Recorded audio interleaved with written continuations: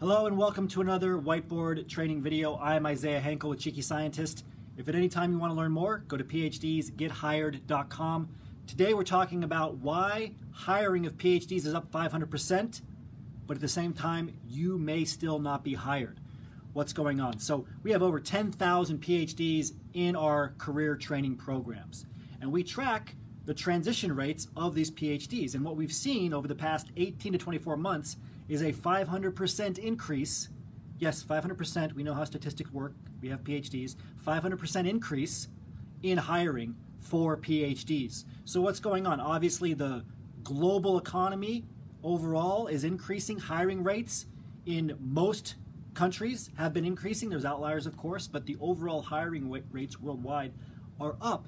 And guess where the hiring is happening? It's not happening in manufacturing, although you might hear about manufacturing a lot on the news. Um, those jobs are just moving around. The actual raw increases in jobs are coming in the STEM fields. Okay, and that's not just science, technology, engineering, engineering and math. It's life sciences, physical sciences, social sciences, education, economics, engineering, um, anything that follows a scientific method. This means that you, as a PhD, you're more hireable now than you ever have been before. I'm going to give you some extra reasons why you're so hireable. But for now, you just have to know hiring is way up.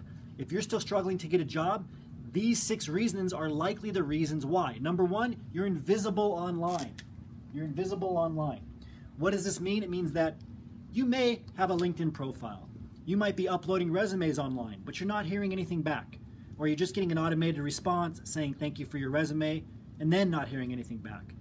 Maybe you have a LinkedIn profile, you followed some tips online, but no recruiters or hiring managers are reaching out to you. If they do reach out, they quickly hang up on you because they think they, they uh, you, you say you need a visa, they hang up. Or they talk to you and then after one phone call, they don't call back.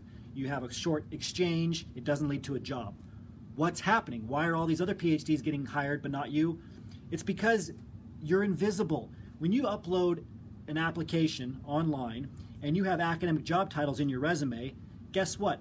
That application is not going in front of a person. They're not going to be able to read it, understand what's going on, understand that you have a PhD, and that's why you have all universities in your work experience, understand that's why you have academic job titles and specific skills, okay? And even locations. Just, just like LinkedIn Recruiter, which we're going to talk about next.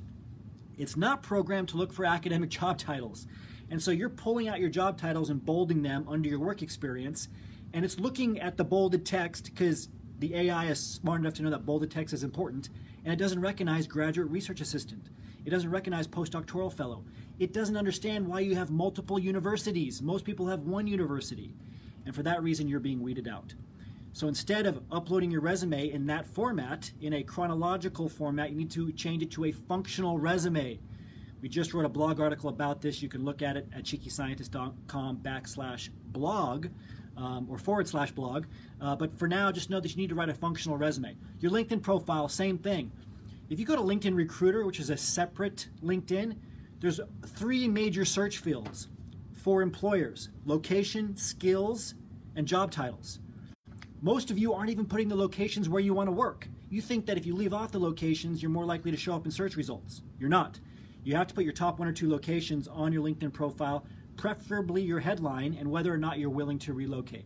You're also not highlighting enough transferable skills, which are the non-technical skills, or technical skills throughout your entire LinkedIn profile, and you're certainly not putting job titles. You have to put your job titles, the job titles you're interested in, in your headline throughout LinkedIn. You don't say that you've had those jobs, but you have to put the job titles on there so you actually show up in the search results. Finally, you got to turn on your recruiter button. You actually have to tell LinkedIn that you want to show up in LinkedIn Recruiter on the other LinkedIn. There's a button for this. You can Google it. It's easy to find. Number two, you're not committed.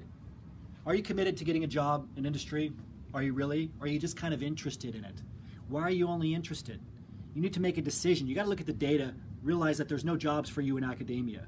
Professorships are sharply declining. Full time professorships will be extinct in five to 10 years. They're being replaced by part time, contractor, and adjunct professorships. The data on this is very clear. Doing a postdoc, staying in a postdoc, damages your career. We've talked a lot about data that just came out and was published in Nature showing that it does not help your career at all. So what are you doing?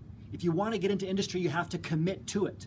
What most PhDs do, unfortunately, and what keeps them from getting hired more than anything else, is that when they get on a phone screen or they go to an interview, they act like industry is just one of their options. They act like working at that company is just one of their options. Because in academia, we are trained as PhD to explore options, to talk about anything, but employers want to test your certainty. They want to test your commitment. So when they ask you questions like, I see you're, uh, you've applied to this position, but would you be open to other positions? They actually don't want you to say yes. They want you to say, I'm interested in doing whatever's best for the company, but I'm the perfect fit for this position. That's what I'm committed to right now. That's what they want to hear. Okay? As a PhD, that doesn't make sense to you. You, uh, you want to seem open and flexible. You want to do whatever the, the employer wants you to do. They're not looking for that. They're looking for you to know what you want and to show commitment to it.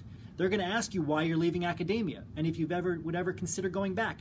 They're going to make it seem like they're on your side, like they want you to say you'd be interested in going back and you're flexible because they're testing you. They don't want that. They want to see that you're committed to this position. So you need to get in the right frame of mind before talking to an employer, and you need to communicate this frame of mind even before talking to an employer.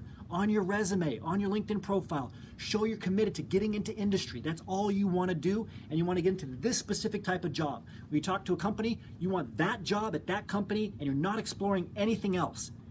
That's how you need to come across. And it's easy to do. You're not lying. You don't need to be overly literal here. Every company has pros and cons. So choose the pros for that company and focus on it and tell the employer, I'm committed to working in this position for XYZ reasons. The pros of that company versus the other company. Okay, you have to show that level of commitment.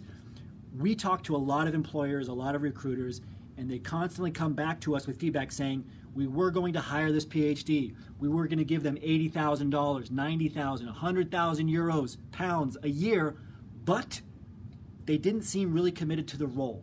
They didn't seem committed to doing whatever it took to get into this position right now. They didn't even seem like they wanted to relocate.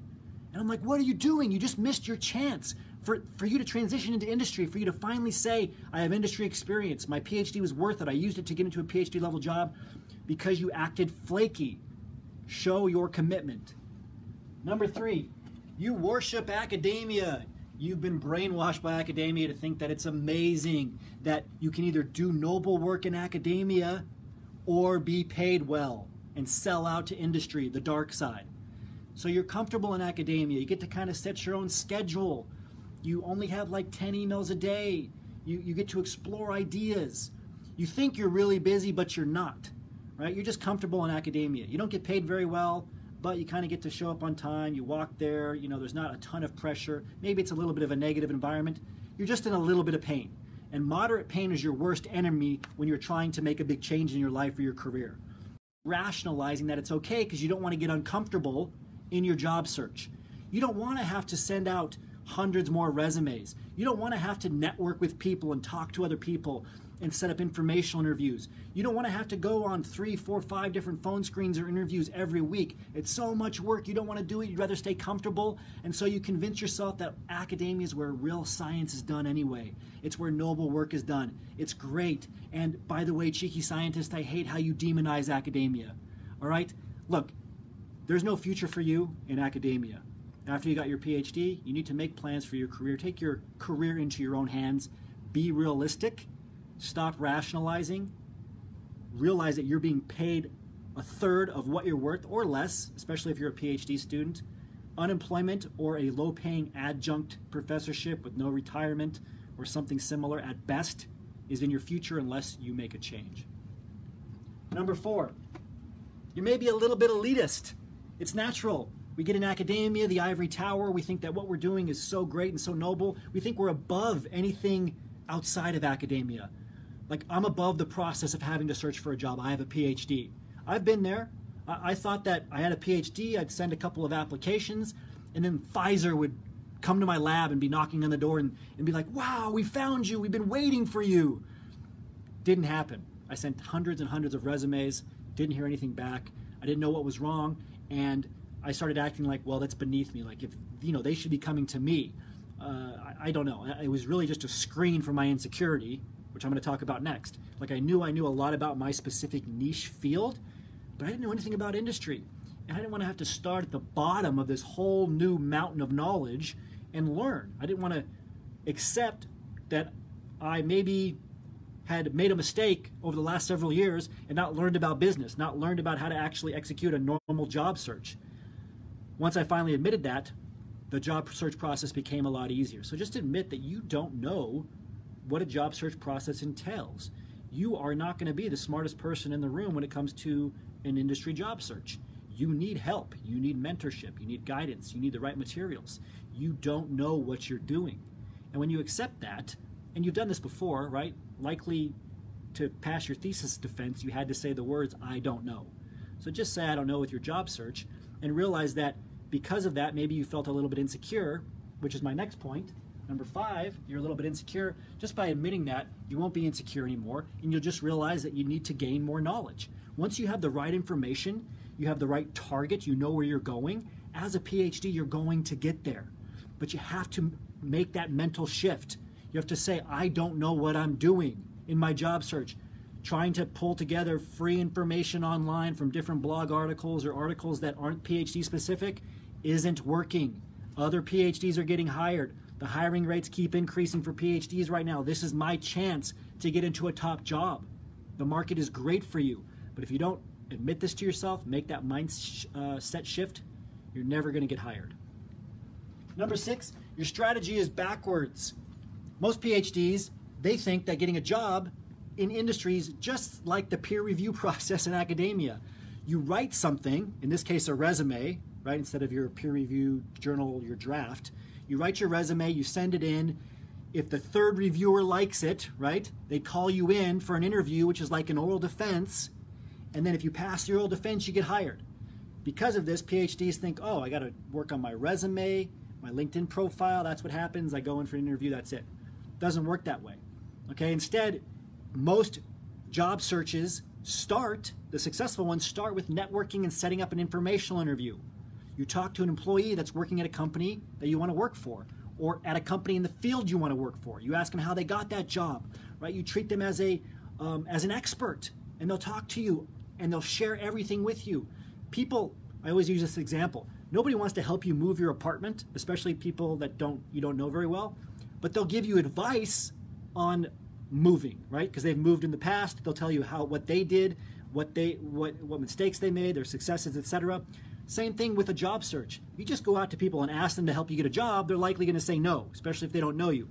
But if you ask them how they got into their job, they're going to share that information with you, which will help you create a bond. That's what networking is.